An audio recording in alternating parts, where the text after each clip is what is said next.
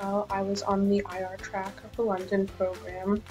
I really enjoyed my time there. The professors were great and the courses were very eye-opening. I enjoyed the trips we got to go on, even saved a few of the tickets from those. By far, my favorite experience in the UK was getting the chance to go to Liverpool.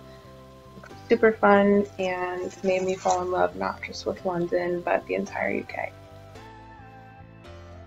Hi, my name is Rebecca Goldfarb, and I was studying on the marketing and advertising track this semester, and I really enjoyed London just because it was the access to all of European entertainment as possible. You could easily go to shows and concerts and just anywhere because everyone comes to London, and it was just super easy. And while I'm sorry that the semester got cut short. Um, I guess one thing I could find about good about remote learning is being able to work on your own time and be able to do it all yourself.